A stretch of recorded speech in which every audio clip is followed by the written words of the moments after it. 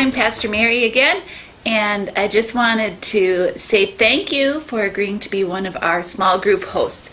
Right now, I'd like to show you what you're going to be getting in order to have your uh, your small group.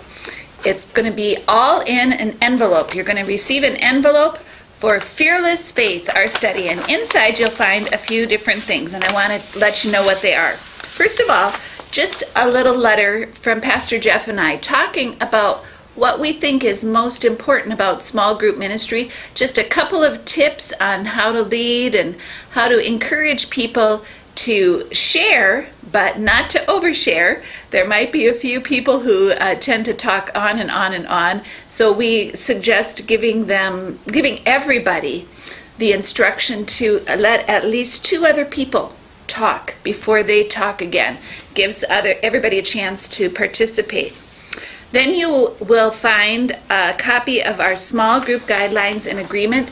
I have another video where we talk about all the things that are listed on here, but it's good idea to go over this to get an idea of being all on the same page. Then just for your help, and uh, knowing that maybe you haven't gotten, uh, you don't know well the people that are in your group, we have a little sheet that gives an idea for some icebreakers. These are things that you can do whether or not you know people uh, in your group because there's always a few more things that you can get to know about people. So we've got uh, there the 20 best icebreakers for 2018. Use them if you like. And then as your group continues, you'll find that perhaps it's a good idea to share leadership in different ways. One idea for doing that is using our small group role cards. These will just, you can just separate these off into 10 different cards. And uh, the examples are a guide, somebody who will make sure the conversation uh, keeps going, uh, and then there's a timekeeper.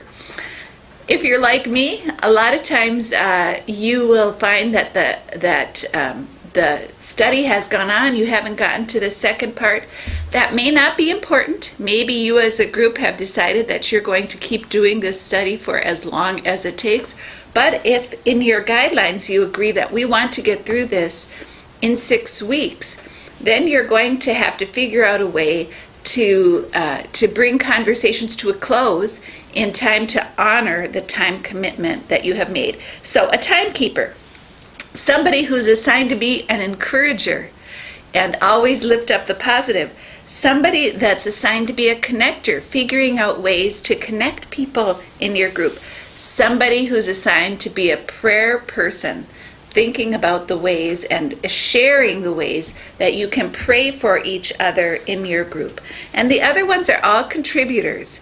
That's just uh, emphasizing once again that there is nobody that just sits back in the in the weeds and watches. Um, we don't force people to talk, but even if they are silent, people need to be engaged in the conversation and in the questions.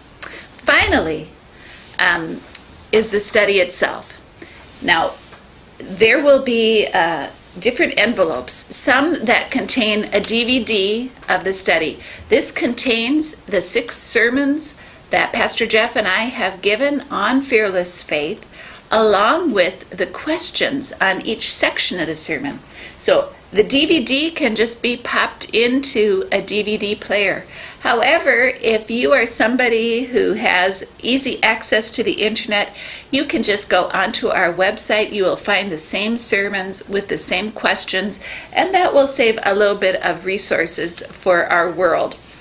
And then, for each person in the group, you will want a Fearless Faith study guide.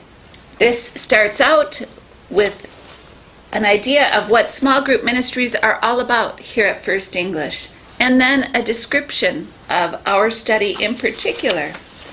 It goes on to talk about the particular week. Each week will be on a two page spread, leaving a little space as you're watching the video to make notes a little synopsis about what was just said, and then three or two or however many questions we come up with.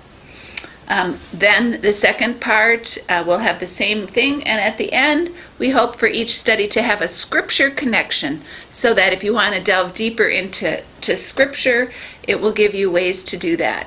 So, we're hoping that in this envelope you will find everything you need to have a successful small group. Blessings on you as you continue this journey.